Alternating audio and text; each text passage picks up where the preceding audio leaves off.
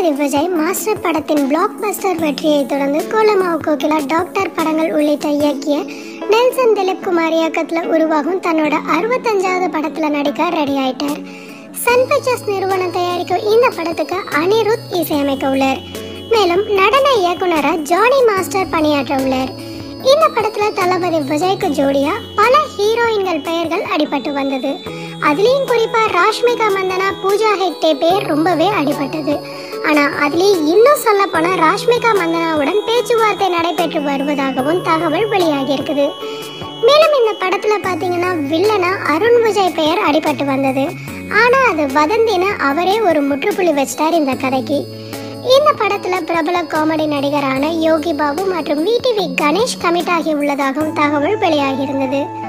விரைவில் படப்பிடிப்பு துவங்க உள்ள தளபதி சிக்ஸ்டி ஃபைவ் படத்துல விஜயின் கதாபாத்திரம் பத்தி தற்போது வெளியாகி உள்ளது. மிக பிரம்மாண்டமா உருவாக உள்ள இந்த படத்துல விஜய் அவர்கள் ரெண்டு வேடங்கள்ல நடிக்க உள்ளார் என்பதும் அதுல ஒன்று போலீஸ் வேடன்றதும் தற்போது தகவல் வெளியாகி இருக்குது இதை உறுதி செய்யும் விதத்துல Thalapathy sixty five title first லுக்ல பல கன்கள் சிதறும். அப்ப விஜய் அவரோட பெயரும் வரும். அதுல ஒரு புல்லட் தளபதியின் பெயர்ல போகும். இதை வச்சு பாக்குறப்ப அதை உறுதி பண்ணலான்ற மாதிரி தான் இருக்குது.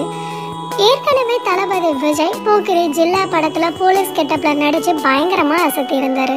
பல வருஷம் கழிச்சு மீண்டும் போலீஸ் அதிகாரியா நடிக்க உள்ளார். இது தளபதி ரசிகர்களுக்கு பயங்கரமான கொண்டாட்டத்தை கொடுத்திருக்குது. யாரெல்லாம் தளபதி விஜய போலீஸ் அதிகாரியா பார்க்க வெயிட் பண்ணிட்டு இருக்கீங்கன்னு கமெண்ட் பண்ணுங்க.